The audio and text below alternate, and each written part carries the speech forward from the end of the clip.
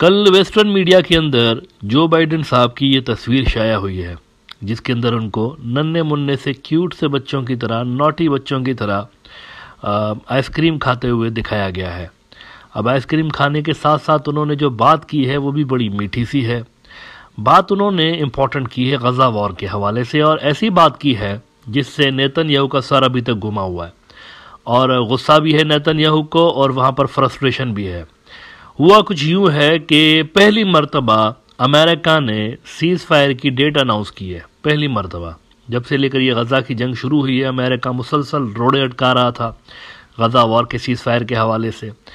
लेकिन अब पहली मरतबा बाइडन के मुँह से, इससे सीज़ फायर के हवाले से एक डेट निकली है।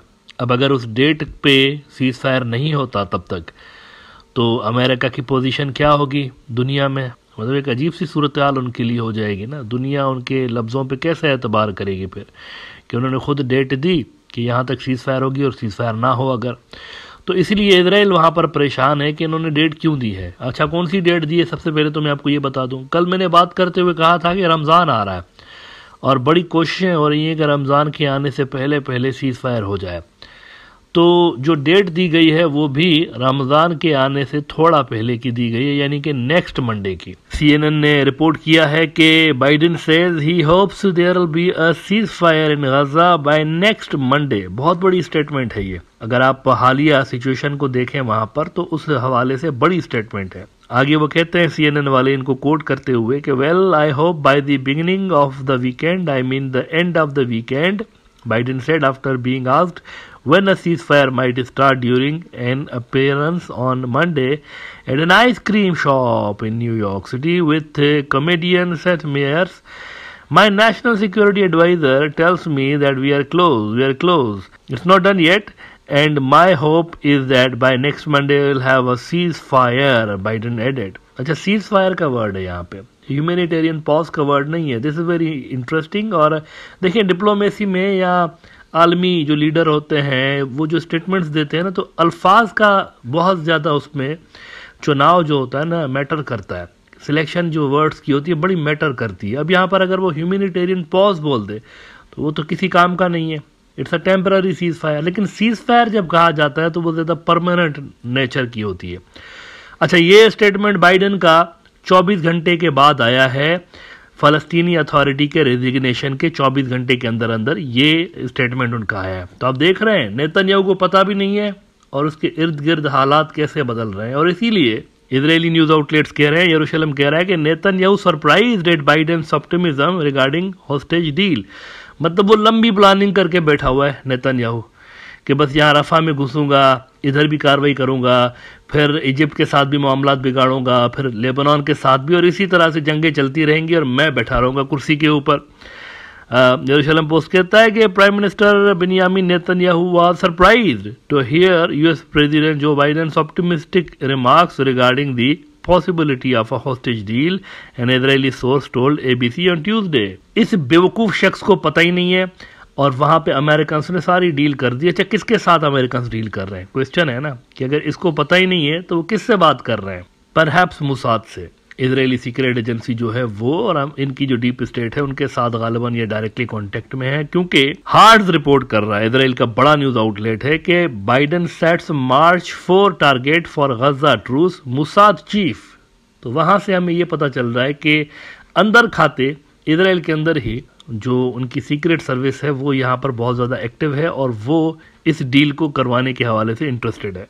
अच्छा इसराइली जो दीगर नेतन्याहू की हुकूमत में लोग हैं, वो भी हैरान हैं कि क्या हो गया है। अचानक से डेट कैसे आ गई सीज फायर की, हमारे पूछे बिना। अभी पिछले दिनों ही तो इन्होंने लंबे चौड़े मंसूबे ओके किए थे वॉर कैबिनेट ने। जंग को लंबा चलाने के लिए उन्होंने काफ़ी सारे प्लान ओके किए थे।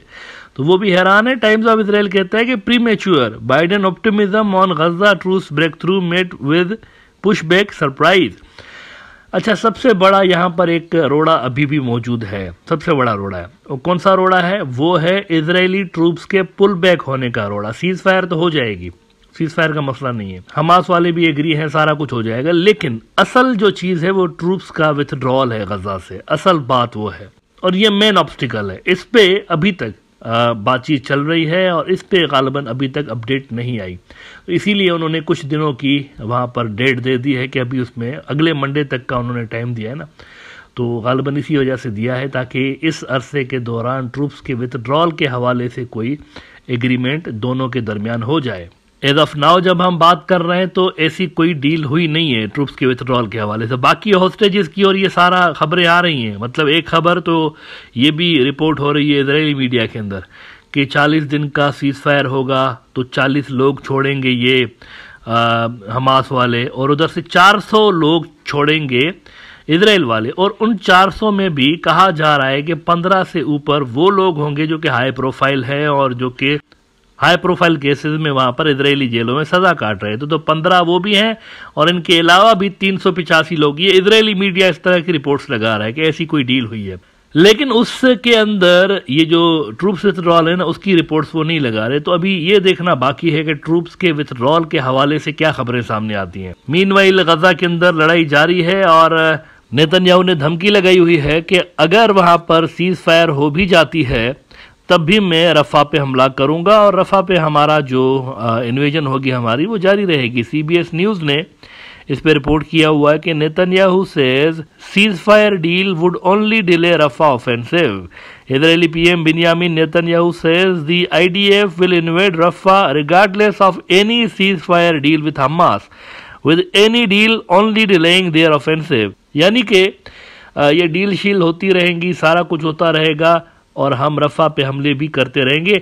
इसका मतलब यह है कि ट्रूप्स के विथड्रॉल के हवाले से अभी तक वहाँ इसराइल के अंदर पॉलिटिकल लेवल पर कोई कंसेंसस बिल्ड हो नहीं सका।